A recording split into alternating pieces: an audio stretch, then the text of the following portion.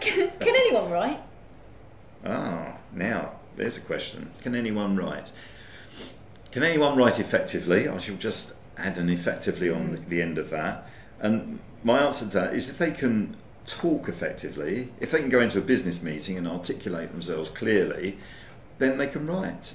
Uh, writing is just really speaking down your arm and out your fingers, isn't it?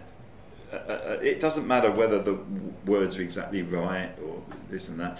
If you, if you just hammer away and, and, and you write, you can always go back and look at it and, and sort it out. And it's not like when you speak. When you speak, you speak, and that's it. It's like us sitting here.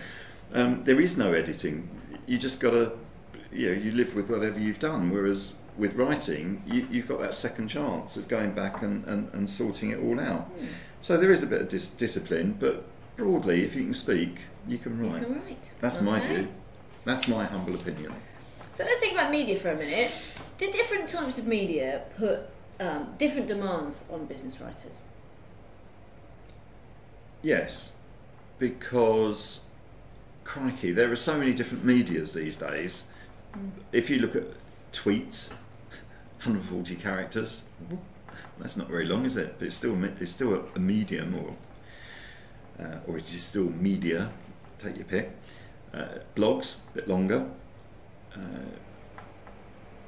news, features, they they all they all differ in length. They all differ in um, intensity. You know, news is get in there, get it written down, get out, and just leave the reader with the essentials.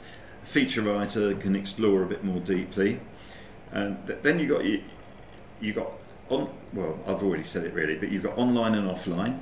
If if if it's online, it's generally shorter, and you need to be a bit more concise.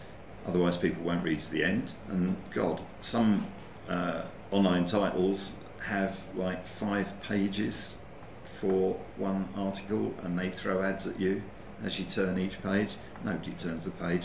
I doubt if they finish reading the first page, to be honest. I shouldn't really say that because I write for one of those.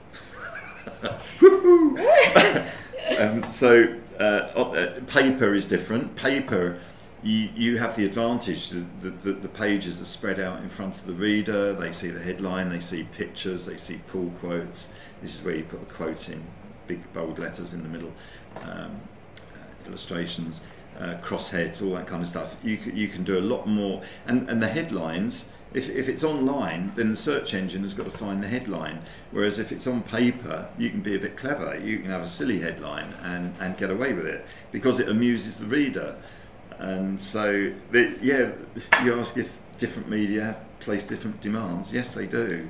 And why- Something's just occurred to me. Uh-huh. Language and vocabulary. Like, what's your view on the type of, of vocab you should be using for business writing? I think it depends on the destination. If I were writing for The Guardian, which I've done many times, uh, I, I, I write in a particular way. It's reasonably friendly, reasonably amiable. I don't aim for snooty words or anything. I'll just try and speak the way people speak. is. Mhm. Um, if I'm writing for the Financial Times, which I've done, it's kind of different. It's a bit more po-faced. It's a bit more, well, business-like, really. So if it's a business paper, well, you did ask about business writing, didn't I you? did. So I think if you, you, you just got to think about the reader. If you think about the reader and you communicate in the way that you believe that reader will accept your words. Look, Mm. I used to write for the Director magazine. Um, I was their IT correspondent for years, and when when the editor first met me, he said, "Who do you think our readers are?" I said, "Captains of industry." He said, "You're wrong." I said, "What?" He said, "They're not captains of industry. They're just the people you see at the annual uh, directors, the IOD event in uh, Albert Hall or wherever it is. Uh, no, our readers are." Uh, one-man bands usually call themselves management consultants, estate agents, and Midlands manufacturers of refrigeration equipment, 200 employees. Now, if you keep those three people in mind when you're writing, you'll be spot on. And you know, that's how it works. Yeah, That help? amazing. That does. Good.